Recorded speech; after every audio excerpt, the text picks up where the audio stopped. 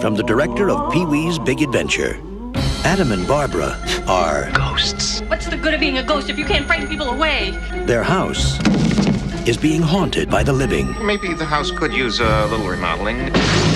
and they can't scare them into leaving. They're dead. It's a little late to be neurotic. So they're calling on Beetlejuice, Beetlejuice, Beetlejuice, Beetlejuice. who's no ordinary ghost. Yeah, You don't want his help. Can you be scary? What do you think of this? Now, the party's over, You want somebody out of the house? I want to get somebody out of your house. but the fun has just begun. It's showtime.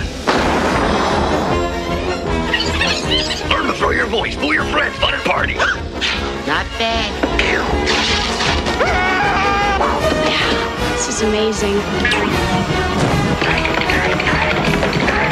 Want a cigarette? Oh, no, thank you. Oh, yeah, here I come, baby. He's guaranteed to put some life Attention, Kingward shoppers. in your afterlife.